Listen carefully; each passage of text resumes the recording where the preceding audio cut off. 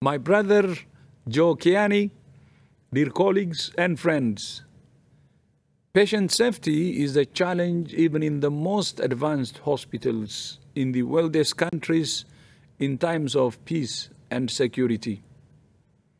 It's infinitely more difficult when healthcare is under attack.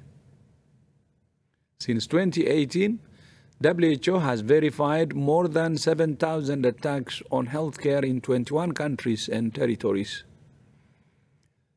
This has led to more than 2,200 deaths and 4,700 injuries of health workers and patients. Even wars have rules, and attacks on healthcare are a violation of international humanitarian law. They deprive entire communities of urgently needed care when they need it most. They undermine health systems and jeopardize long term public health goals.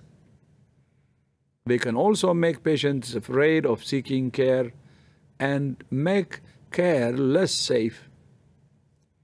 An estimated 60% of preventable maternal deaths 53% of child deaths under 5 and 45% of infant deaths occur in fragile or conflict affected states.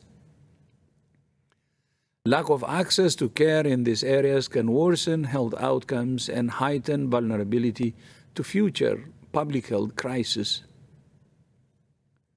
Health workers and health facilities must never be attacked and must be actively protected even in the most adverse conditions.